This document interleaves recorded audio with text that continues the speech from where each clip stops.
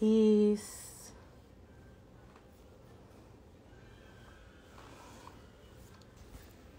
Let me turn up my volume so I can make sure y'all can hear me. Good morning. It's still morning. We got a few about 19 minutes here on the East Coast anyway. Um sitting in my room and um just lotioned up, just got out the shower, taking care of my body. Um not lotioned up, I use shea butter, but you know, that's what we say. But yeah, I just buttered myself and I had this deep reflective moment in the shower about self love. And, you know, I get up every morning and I do my yoga. Some days I post it, some days I don't. Depends on how I'm feeling, if I feel like sharing or not. Um, hey, Tanya. Hey, sweetie. Um, if I feel like sharing my yoga, I share it. Um, and I, I don't expect I don't, you know, I want to say, I don't expect it to um, be uh, what people come. Uh,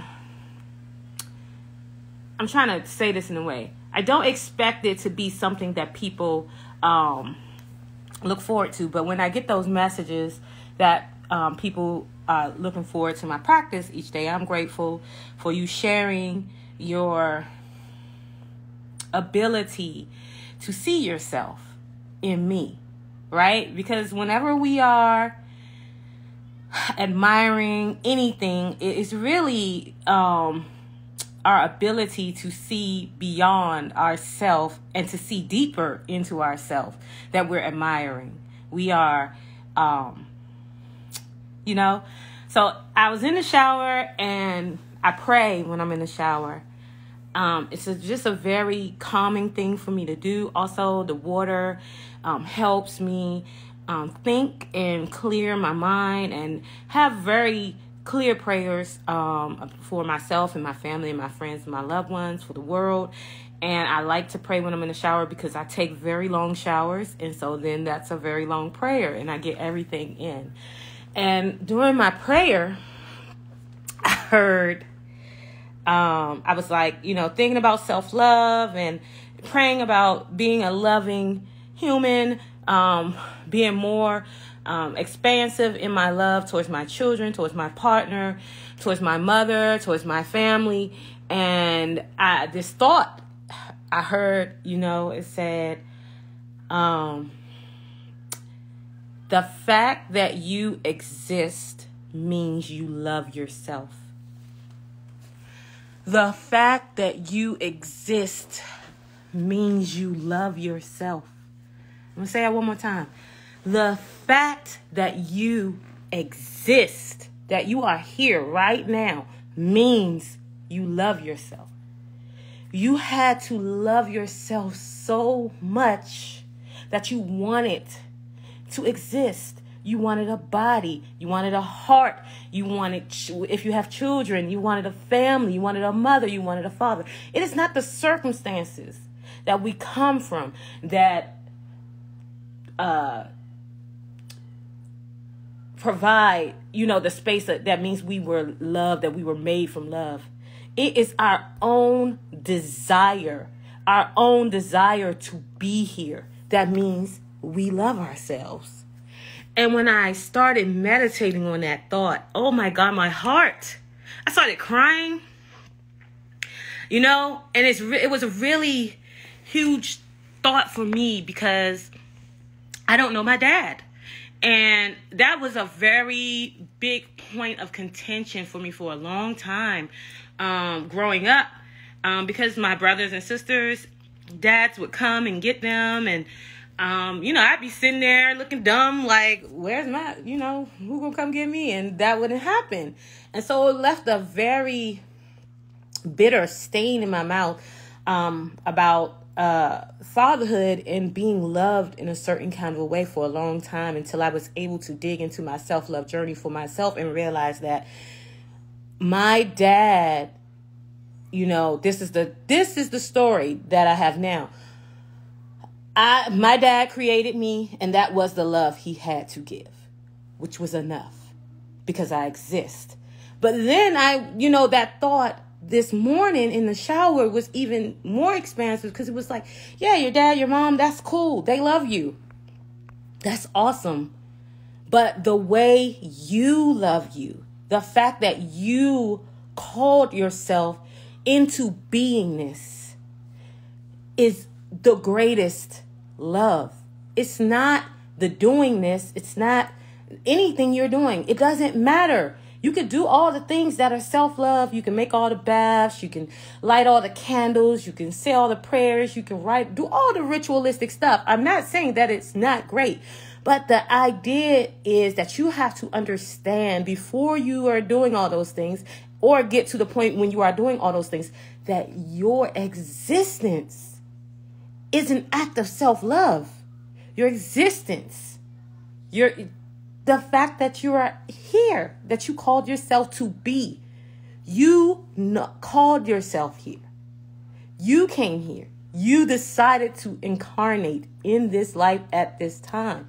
And that is the most loving thing that you could do for yourself. All the rituals and stuff, they're just seasoning. They extra. It's like reminders, like, okay, I do love myself. This is another way I can love myself. This is more love. You know, it's a replenishment. But if once I tuned into that thought,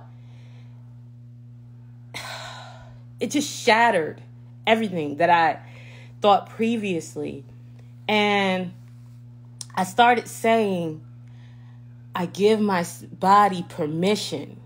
I always prayed that I healed, that I love myself, that I continue to grow in a beautiful and magnificent way, that my heart expands. But I never thought that I had to give my body permission I give my body permission. And I started saying that over and over and over again. I give my body permission to heal. I give my body permission to love itself. I give my body permission to show up for myself. I give my body permission to release trauma. I give my body permission to um, release any sexual uh, abuse that happened to me. I give my body permission, like, in really naming those things. I give my heart permission to love. I give my heart permission to embrace joy. I give my heart permission to have a loving partner and to accept my partner. These are prayers that I said, but I never gave myself permission. And it just, those two things shifted I I feel renewed. I always feel great, but I had not you know how people say they go to like some ocean, you know, go to the ocean and the water's on them. I, that's the feeling that I feel like I went somewhere and someone gave me some good cleaning and like I'm sparkly and shiny. And that was just from being open, being receptive. And that was after my yoga practice. And that's why I practice yoga f- first thing in the morning because I know that that practice opens me up for the day. It allows me to um, tap into things that I would not be able to tap into. So when I don't practice yoga first thing in the morning, when I have a hard time getting to my mat in the morning, I know that my day, I accept, I don't know, I accept that my day may not be as smooth and I might not transition through the day as easily um, as when I do when I meet my mat in the morning. So I just want to just leave that out there for you. Those of you who are just joining, I was just talking about um, giving, um, understanding how uh, your exact your existence that you called yourself to be is the biggest act of self love that you could ever create for yourself. That everything that we do here, the baths and the, everything that we do ritualistic is extra. And then the other thing is during um your healing, you know, a lot of times we pray for a healing, we pray to be healed in a certain type of way. And what came to me today was actually giving my body, my heart, my mind permission to accept these healings. Like, right? Because we are asking for something. Asking for something. And a lot of times we don't realize that we are resistant. There's resistance in our body to what our mouth is saying. There's resistance in our heart to what our mouth is saying. There's resistance in our mind to what our mouth is saying. So if you are, if you don't know there's resistance, you're not getting that healing that you're asking for. So you have to clear that resistance first by giving your body, your heart, your mind, your spirit permission to show up for you in that way. And it's a huge shift from just saying something and hoping or, you know, just having blind faith because you're actively participating with your mind, your body, and your spirit in a new way like really asking yourself to show up, really asking your trauma, like, I need you to leave. I want you out of my body. You no longer get to be here. There is no reason for us to be together anymore. I am not in those circumstances. I am not an abused kid. I'm not an abandoned kid. You know, whatever those things are, name them, release them, release them from your heart, release them from your mind, release them from your body. They no longer deserve to be with you. You are grander than those things. You are here now. You are here now. I hope this was useful. I hope it was helpful. I'll save it and put it up for anyone who missed it. Um, but I, when I had that experience, I knew that it was different than anything I'd ever done before. And I do a lot of trauma and healing work. I do a lot of it. And um, that that I think was a key link that was missing to some of my work was like really allowing making space for myself to have permission to have the healings that I was asking for.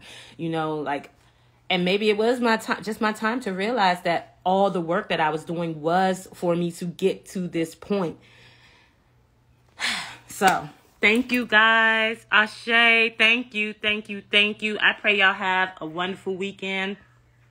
Um, and that you are able to move in a way that you didn't think was possible before because that's what we're here for. We're here to do new things.